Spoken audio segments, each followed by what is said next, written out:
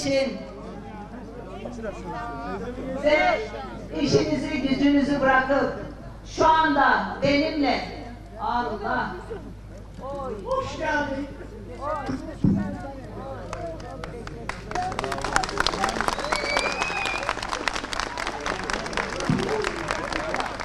Hoş geldin, sabah geldin. İnşallah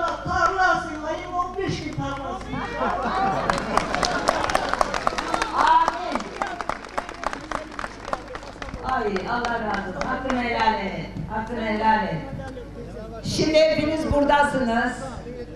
Ben vereceğim sizlere söz. Önce iki kelamle değil, sizden başlayacağız. Şu anda işinizi gücünüzü bıraktınız, hoş buldunuz. Kurtarıcısı hoş geldin. Türkiye'nin kurtarıcısı hoş geldin. Allah razı olsun. Allah razı olsun. Allah razı olsun. Şu anda burada bulunmanız benim için çok önemli. Aynı zamanda bir vebal. Önce hakkınızı helal edin. Sonra da Cenab-ı Hak beni sizlere karşı mahcup etmesin. Beni sizlere yalan söyleyenlerden eylemesin. Beni sizin hakkınızı alıp yandaşlara verenlerden eylemesin. Senin, senin çocuğun 92 puanla 88 puanla atanamadan evde umutsuzca yatarken yandaşların, ayıların, ayısı olanın, dayısı olanın 58 puanla atandığı bir ülkeyi sizin karşınızda savunmayı bana nasip etmesin Allah. Hak yemeyi nasip etmesin, kul hakkına girmeyi nasip etmesin inşallah. Geçinilmez, katiyen geçinilmez. Şimdi bugün Yeşilova'dayız. Ben tam iki buçuk yıldır ilçe ilçe, il il, sokak sokak, esnaf esnaf geziyorum.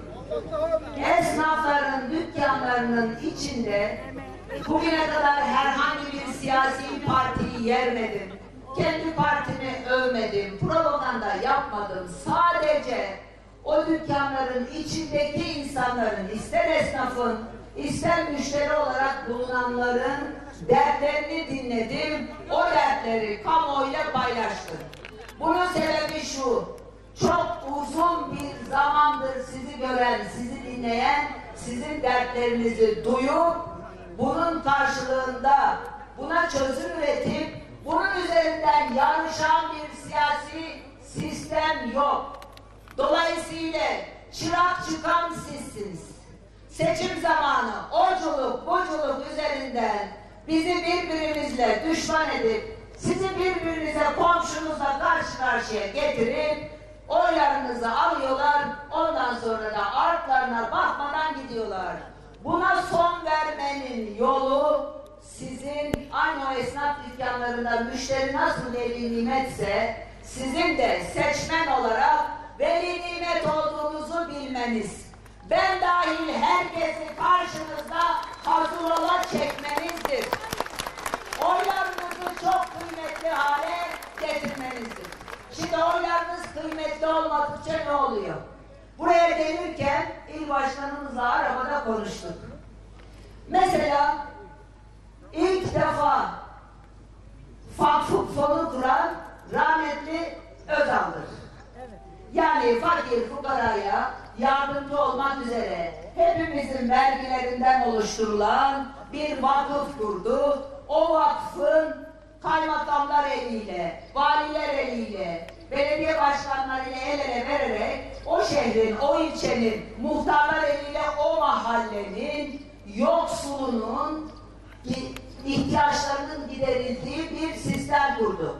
Onun parası kimden? Hepimizden. Ve dolayısıyla bugüne kadar bütün siyasi partiler farklı fonun eline, içine elini uzatmadı. Sonra sonra bu arkadaşlar iş başına geldiler ve farklı fon AK Parti'nin bir özel vakfı haline geldi. AK Partili zaman içerisinde ya- yakını olmayan, AK Parti bünyesinde birine ulaşamayan hiç kimse oradan faydalanamadı. Faydalanmak kalksanın da yüzüne yüzüne yardım atıldı. Halbuki onun amacı gıda dağıtmaktan ziyade nakit yardımı yapmaktı. Şimdi bu özel örnekten yola çıkarak 650 lira maaş alan 65 yaş sonrasında maaş alan değerli kardeşim. 65 650 lirayla geçinebilir misiniz? Mümkünatı yok. 2500 lira maaş alan emekli kardeşim. Torununa bir verebilir misin? Hediye alabilir misin? Mutfağa, mutfağa, mutfağa geçindirebilir misin? Isıtmayı, ısıtmayı, elektriği ödeyebilir misin? Şimdi böyle bir düzende buna karşılık sadece 24 milyar lirayı Türk Telekom üzerinden yakın dostu Sayın Erdoğan'ın aile dostu Halil'lerin cebine koydular. Milyar lira ile neler yapılırdı? Halillerin cebine koydular. Ayıp olur. Biliyor musunuz aile dostu? Mahcup olunur. Lütuf verdiler lütuf. Kimin parası senin paran. Se- bununla bununla yapılacak fabrikaları şunları bunların sayısını saymıyorum. Orada orada çalışacak insan sayısını saymıyorum. Ama bununla ne yapılırdı biliyor musunuz? Gene yolda gelirken tarlalarınızdaki ekinlerin cücük kaldığını gördüm. Çünkü hem ilaç atamamışsınız hem de gübre atamamışsınız. Şimdi ben, ben İzmit'in bir köyünde doğdum. Hem buğday, hem mısır, hem ayçiçeği, hem koyun, hem keçi, hem de tütün yetiştiricisi bir babanın kızıyım. Şimdi Nisan ayında hepsi hepinize söz vereceğim.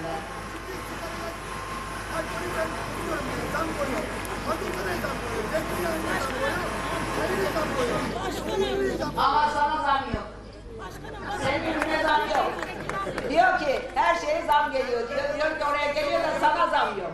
Şimdi bakın bu 24 milyar lirayla ne olurdu biliyor musunuz? Ben gene şehirleri gezerken, iller ilçeleri gezerken bu dükkanların içinde çiftçiyle, besiciyle, süt üreticisiyle karşılaştığım zaman onları dinlediğimde bir şey öğrenmiştim. Dediler ki bana, Türkiye'nin her yerinde sadece burada değil, dediler ki Meral Hanım bunu kürsüden duyur, iktidar bunu duysun. Biz öncesinde Kasım'da, Aralık'ta, Ocak'ta, Şubat'ta maalesef gübre çok pahalı atamadık tarlamıza. Şimdi bir de Nisan'da atmak zorundayız. Bari ikinci gübre için bize destek olsunlar. 24 milyar lira ile sizlerin en azından Nisan ayında atacağınız gübre size ücretsiz verilebilirdi.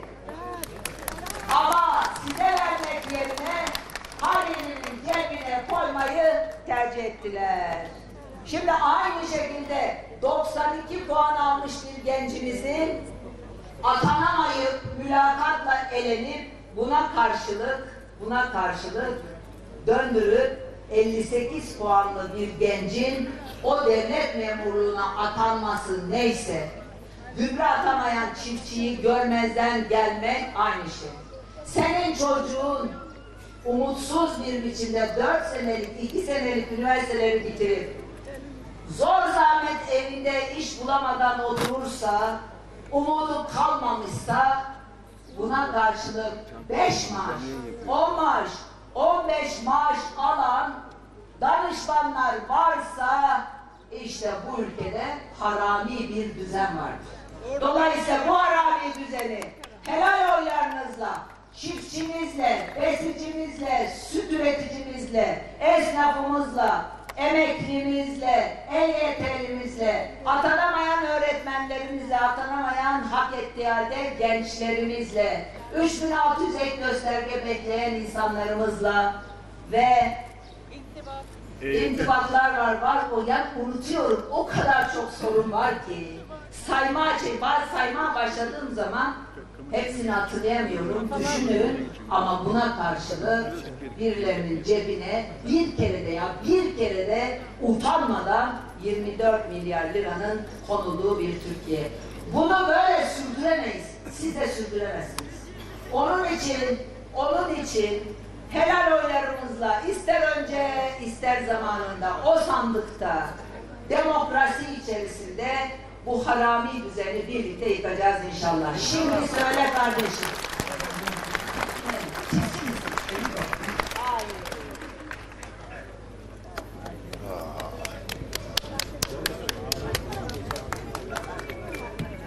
Allah beni utandırmasın.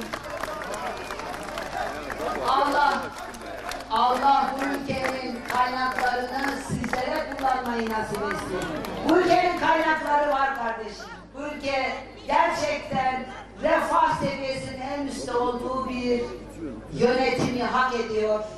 Bu fakirliği, bu yoksulluğu ortaya koyan şey birincisi iş bilmezlik, ikincisi kayırma, üçüncüsü Türkiye'nin içinde bulunduğu bu şartları unutma. Sizi unutma. Saraya girince sizin gözlerinizin içine bakmayı, sizi dinlemeyi unuttular.